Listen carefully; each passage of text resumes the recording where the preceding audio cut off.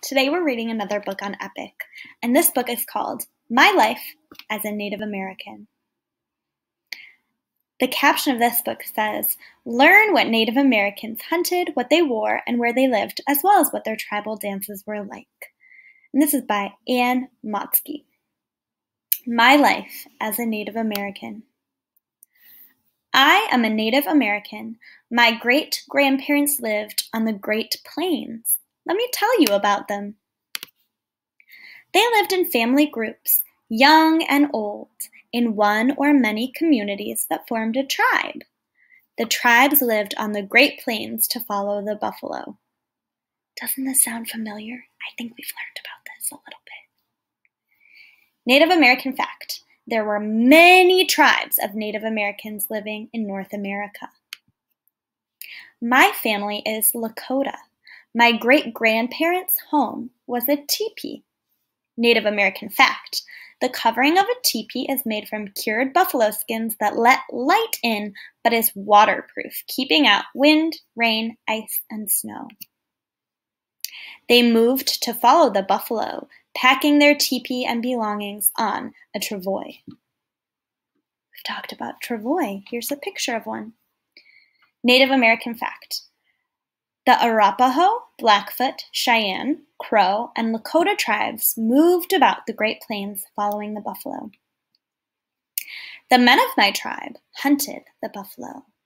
And the Native American fact is that buffalo provided food as well as clothes and shelter. Remember that no part of this buffalo was wasted. Before the hunt, the men in some tribes performed the buffalo dance. Wearing buffalo masks, the men dance while others sing to attract the buffalo in hope of a great hunt. Pemmican is one of many dishes made from the buffalo. These are pieces of the buffalo that are being hung up to dry. Native American fact wild cherries, sun dried buffalo meat, and melted fat are pounded together to make a nutritious traveling food called pemmican. Pemmican is a traditional food still eaten today. Some people still eat it today. Just like we talked about before, when family members pass down stories or recipes or different traditions, people today can still do those things. So the woman who wrote this book is saying that her grandparents paid, made pemmican. But if her grandparents taught her parents who taught her, she would still be able to make it now. Their clothing was made of buckskin from deer, in the winter, they wore heavy robes made from buffalo hides. Native American fact clothing was decorated with earth paints, feathers, horsehair, elk teeth, and flattened dyed porcupine quills. So you can see how many different decorations are on the clothing in this picture. And this is a woman today. In the winter, they liked to sled. Native American fact sleds were made from the ribs of buffalo tied together with rawhide. A buffalo hide was used to sit upon. The Lakota word for a sled is hohozakuna. Oops, let me say that again. Hohukazunta. There we go. Gotta make sure I pronounce the word right if I'm saying it. A thick, heavy buffalo hide kept people warm while sledding. Just like you would have to bundle up if you go sledding outside. You don't want to act, you don't want to get too cold and have your fingers feel cold or your body. This is a picture of the sled. We are a proud people carrying on the traditions of our great grandparents.